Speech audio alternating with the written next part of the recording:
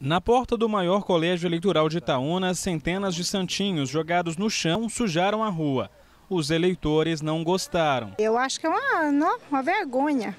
Para quem está julgando, né? Eu acho que é muito errado. Eles começam mais de mês antes, jogando papel, sujando tudo e depois largam. Itaúna tem 68 mil eleitores. Só na escola polivalente são 3.500. Durante todo o domingo, a votação foi tranquila. Na parte da manhã houve algumas filas algumas, é, algumas sessões, mas agora normalizou. Na parte da tarde parece que diminui um pouco o movimento. Kátia trouxe o filho Miguel, de 8 anos, para acompanhá-la durante a votação. Desde pequenininho é bom ele aprender que a gente tem que fazer boas escolhas, né? Aí eu vou levar ele comigo para ele fazer, para ele ver que eu estou fazendo uma boa escolha. Aí futuramente ele fazer também. Em Itaúna, segundo a Justiça Eleitoral, nenhuma das 234 urnas precisou ser substituída. De acordo com a PM, não houve prisões ligadas a problemas na eleição. Em Abaité, três pessoas foram presas por boca de urna. Duas estavam perto da Câmara Municipal pedindo votos e uma outra foi detida na Escola Municipal Chico Cirilo. As três foram levadas para a delegacia. Já em Carmo da Mata, um candidato a vereador foi agredido por um militante de outro partido.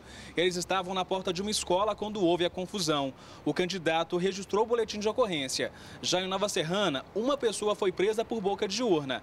A repórter Denise Guerra tem informações sobre o domingo de eleições em outras cidades da nossa região. Em Bom Despacho foram 10 ocorrências envolvendo o crime eleitoral.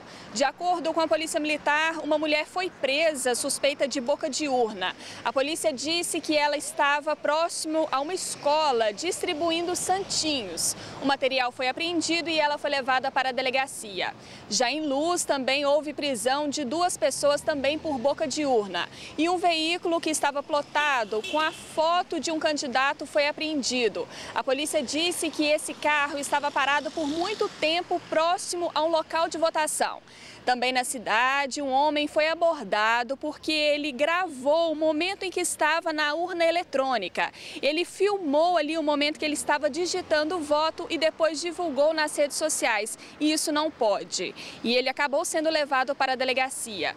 Já em Oliveira, duas pessoas também foram detidas por boca de urna.